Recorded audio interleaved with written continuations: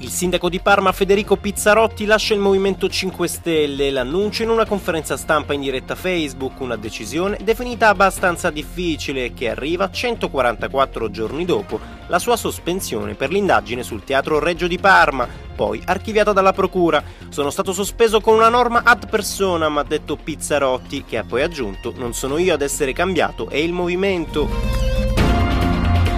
Kim Kardashian sequestrata e rapinata nella sua camera d'albergo. È successo a Parigi. Due uomini a volto coperto e vestiti da poliziotti si sono introdotti nella notte nell'hotel dove la star statunitense alloggia per partecipare alla settimana della moda. Mi spiace ho un'emergenza familiare, così il marito Kanye West ha interrotto un suo concerto appena saputa la notizia ed è volato anche lui a Parigi. Secondo la polizia francese il furto subito dalla Kardashian ammonterebbe a vari milioni di euro.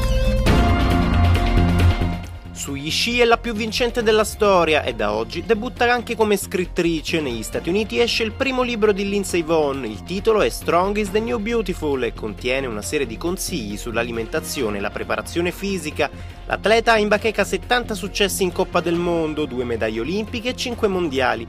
Per l'occasione la Vonn ha posato nuda su Instagram commentando così Ci sono voluti 31 anni per sentirmi bene con il mio corpo e con chi sono e non vedo l'ora di condividerlo con voi.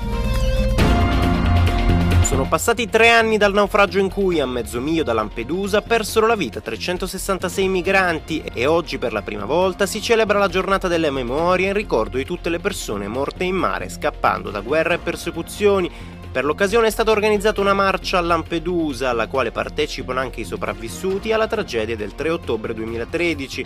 Dall'inizio dell'anno ad oggi sono già 131.860 i migranti arrivati in Italia dal Mediterraneo, oltre 3.000 i morti nei primi sette mesi del 2016 già tempo di neve sulle montagne del Trentino Alto Adige a seguito di una perturbazione notturna che ha portato nella zona pioggia e forte vento e prime nevicate sui rilievi, sul passo dello Stelvio a quota 2757 metri si sono registrati 5 cm di neve fresca ed una temperatura di meno 9 gradi.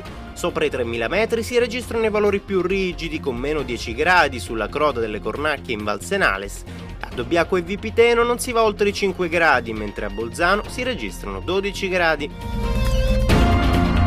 Premio Nobel per la medicina 2016 è andato a Yoshinori Oshumi per la scoperta per i meccanismi dell'autofagia, termine che in greco indica come il corpo mangi se stesso. Nel comunicato diffuso dopo l'annuncio si legge come le scoperte dello studioso giapponese possono aiutare a capire come le cellule riciclano il loro contenuto e aprono il percorso alla comprensione di molti fondamentali processi fisiologici, come l'adattamento in caso di fame e la risposta alle infezioni.